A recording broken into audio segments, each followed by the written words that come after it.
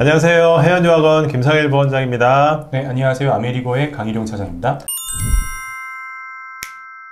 네, 오늘은 저희가 샌프란시스코 북쪽에 위치한 세인트 패트릭, 세인트 빈센트 하이스쿨에 대해서 알아보는 시간을 가지려고 하는데요.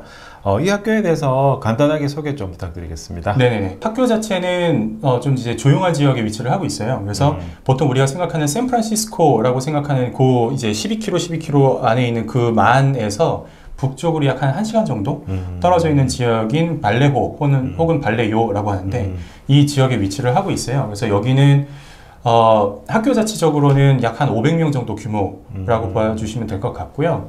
좀 이제 지구과학, 어, 이제 로봇공학 이쪽으로 좀 학생들이 많은 걸 하고 있는 그런 곳이라고 말씀을 드릴 수 있을 것 같아요. 어, 이 학교가 위치한 곳이 샌프란시스코 다운타운은 아니고요. 네? 않죠. 네. 다운타운에서 버클리 위쪽으로 해서 이제 발레오라는 곳인데 네네.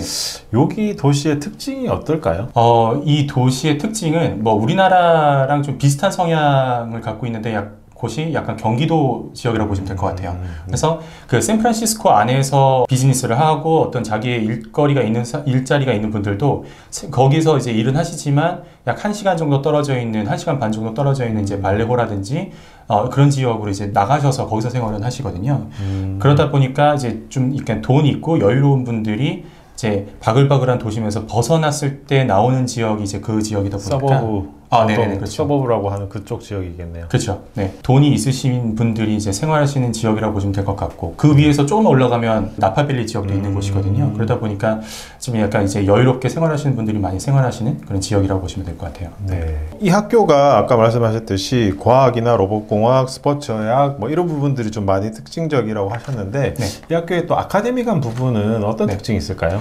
음, 이 학교 같은 경우에는 500명 규모임에도 불구하고 APN 아나운서가 30개를 가지고 있어요. 그래서 어, 평균적으로 봤을 때는 굉장히 높은 숫자의 APN 아나운서를 갖고 있는 학교이긴 하거든요. 네. 그래서 그만큼 학생들에게 이제 그 이제 소수의 학생들에게 굉장히 지금 다양한 커리큘럼을 제공하는 곳이다라는 이미지가 굉장히 크게 박혀 있는 곳이기도 하고요.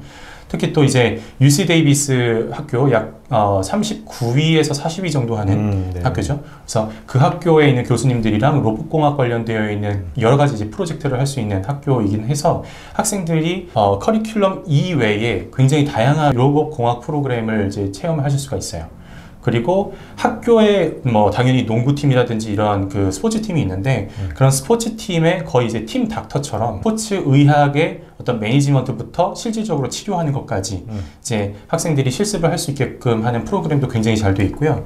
또 어떤 의학도로서의 꿈을 갖고 있는 학생들은 그 학교 외부에 있는 진짜 실제 병원에서 약간 shadowing을 오.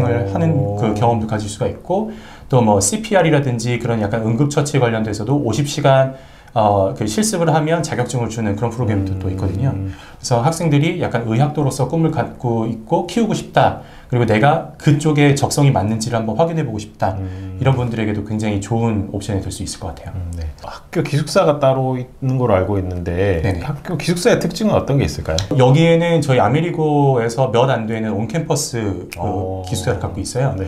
원래는 거기서 이제 그 학교가 뭐 카톨릭 재단이다 보니까 음, 네. 수녀님들이 생활하시던 기숙사 시설이 있었는데 네. 거기를 이제 저희 학생들에 맞춰서 개조를 해서 지금 저희가 학생들을 모집을 하고 있고요.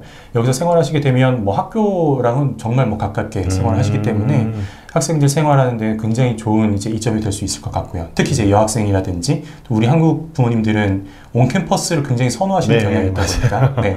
그래서 그런 분들께 되게 좋은 이제 옵션이 되겠죠. 음, 네. 그 기숙사 특징 외에도 그 학생 관리는 어떤 식으로 하는지 또 네. 아메리고에서는 어떤 식으로 학생 관리를 하는지에 대해서 안내 좀 해주시겠어요? 샌 패트릭, 샌 피, 아, 빈센트 같은 경우에는 on campus이다 보니까 네. 훨씬 더 학생들이 이제 학업적인 부분과 학업 외적인 부분이 굉장히 좀 긴밀하게 관리가 되고 있어요. 그래서 일반적으로 학교에서는 학생들이 학교 커리큘럼을 그대로 따라가면서 음. 학교에서 제공하는 extra curriculum 그리고 학교에서의 뭐 스포츠라든지 그런 activity를 다 하게끔 저희가 권장을 해드리고 있는데 이제 온 캠퍼스이다 보니까 기숙사에서 저희가 제공할 수 있는 액티비티들도 굉장히 많은 부분 학교 거를 이제 많이 이제 어, 음. 활용할 수가 있기 때문에 학생들이 나중에 대학교 에세이를 쓴다고 했을 때 굉장히 좋은 이점이 될 수가 있을 것 같고요.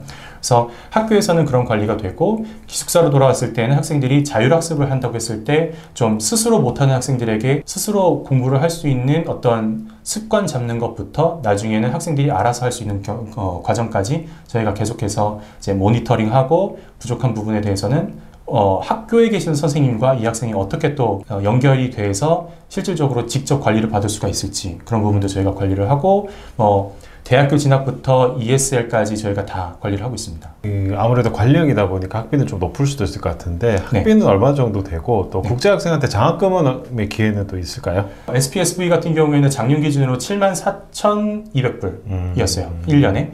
어, 모든 게 다 포함되어 있는 비용이었고요. 그, 거기에서 이제 장학금 같은 경우에는 맥시멈으로 2만 불까지 음. 받으실 수가 있고 이거는 입학 시의 그 성적이 굉장히 중요해요. 그래서 한 번 장학금이 확정이 되시면 졸업하실 때까지 매년마다 이제 제공이 되거든요. 그래서 최대 2만 불을 만약에 받는다고 했을 때에는 이제 그 캘리포니아 지역에서 약 5만 4천 불 정도, 5만 5천 불 정도의 오. 비용으로 이제 공부를 하실 수가 있는 거기 때문에 관리도 받으면서 그래서 그렇게 생활하실 수가 있죠. 그러면 이 학교에 대해서 좀 다양한 부분들을 많이 듣기는 했었는데요. 네. 어떤 학생들이 이 학교에는 좀 적합할까요? 학생분들의 성향 중에서 좀 이제 어 좀 조용하게 좀 약간 이제 활동성은 좀 적지만 음. 학생들이 공부를 하면서 다양한 뭐 대도시 문화도 한번 겪어보고 싶고 음. 아니면 좀 이제 네. 부촌도 겪어보고 싶고 네. 그런 학생들에게 추천을 드리기도 하고요. 또 어, 대학교와 관련되어 있는 어떤 프로그램을 원하는 학생들 그리고 자기가 어떤 의학 관련돼서 좀 관심을 음. 갖고 있는 학생들 이런 분들에게 추천을 드리고요. 뭐 당연히 어, on-campus 기숙사를 이제 찾는 분들께는 더, 더 더할 나위 없는 옵션이 될 수 있을 것 같고요. 자 오늘은 저희가 이제 샌프란시스코 북부에 위치한 어, 세인트 패트릭, 세인트 빈센트 하이스쿨에 대해서 알아보는 시간을 가졌습니다. 네, 수고하셨습니다. 네, 감사합니다. 감사합니다.